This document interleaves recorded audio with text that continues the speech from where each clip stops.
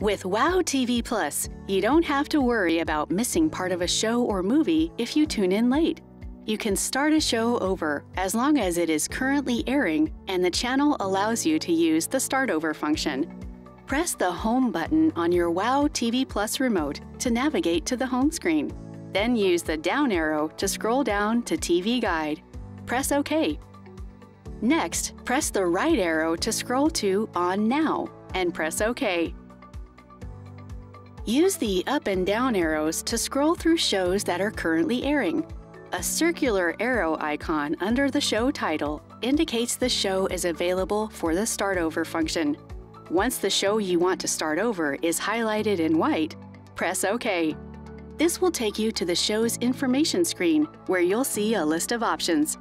Press the right arrow to select Start Over.